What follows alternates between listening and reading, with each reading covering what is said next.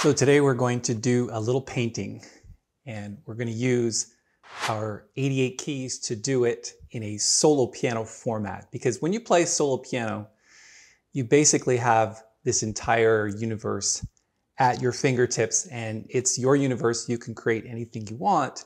And I was inspired to do this recently. I watched a Bob Ross documentary. If you don't know who Bob Ross is, this guy was famous on like PBS for teaching people how to paint a canvas in half an hour. Now, one of the big differences between what he did and teaching like hundreds of thousands of people how to paint in like an hour, you're not going to learn how to paint on this canvas in an hour because, and that's what really bothers me about a lot of like stuff that you see on the internet, you know, learn to play quickly, learn jazz without having to learn scales, learn jazz without having to learn chords. And I, I don't know, Make, call me old school, but honestly, I think you have to put some serious effort into the piano.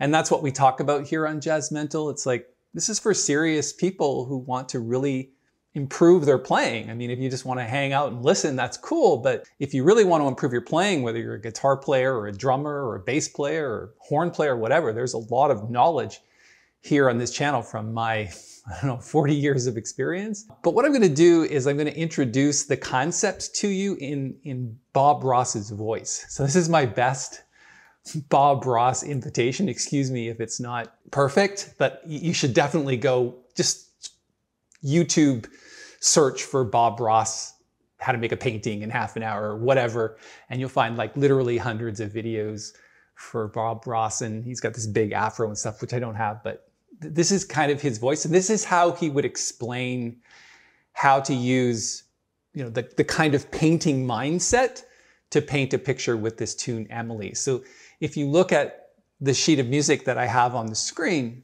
he would basically explain it like this. So what you see is a canvas of notes. And those notes lead to other notes and you start with tiny little notes and you expand to bigger notes. And this is your palette. And you can choose any color you want. You can choose this color, or you can choose this color, or this one. And when you put all of these colors together and you layer them on top, you can make anything you like. This is your universe. This is your canvas. This is your world to play with. You make it what it is. And so let's start out with making a little bit of background, you know, so just.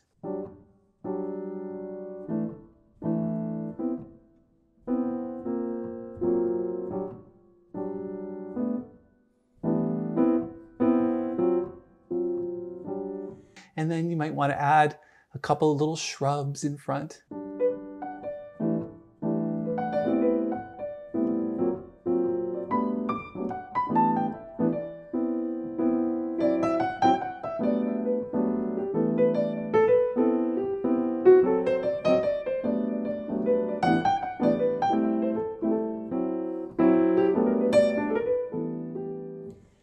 Once you have those notes in there and once you get that sort of background together and it's a happy little universe with your keys and you know sometimes you might want to like maybe you make a mistake and it's like a happy accident and you play a wrong note and you turn that into dissonance like this you know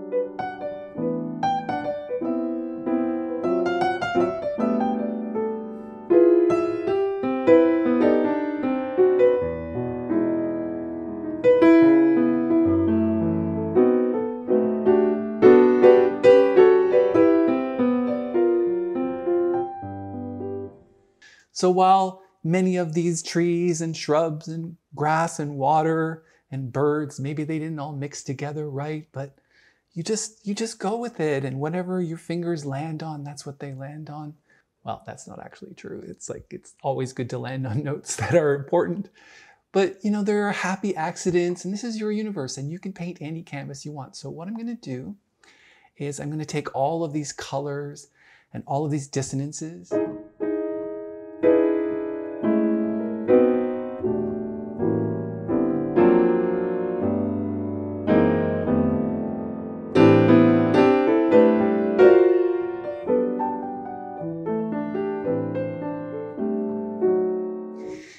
to finish off with a solo on Emily. And we're going to play the whole song, all the accidents together, all the happy little accidents, all of the notes that fit together sometimes and don't fit together others. And then you're going to make a bold move in the middle, and that bold move might be to, to head into time or head out of time. Let's see what happens with our universe. I'm going to play you the song. It's going to last maybe five minutes. I don't know how long it's going to last. It's, it's my canvas. I can make it whatever I like. And so, what I would suggest to you is that after you, you hear this, you go Google Bob Ross, and this is how he teaches people how to paint in half an hour. Can you learn to play this in half an hour? Maybe. But if you stick around with me for half a year, or maybe a year or so, you're going to pick up a lot. So let me play Emily for you, and then I'll come back and say goodbye.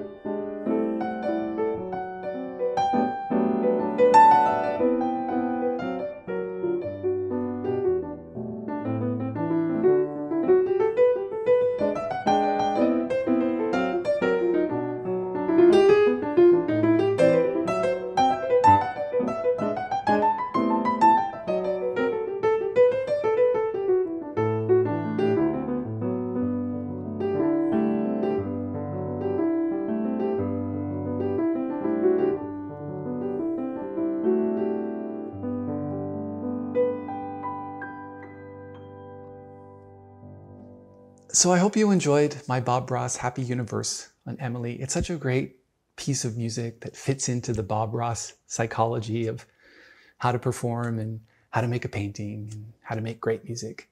And so I hope you enjoyed it. If you liked the video, might want to think about subscribing or giving it a thumbs up. That'd be super awesome. Have yourself a wonderful day. This has been the joy of solo piano.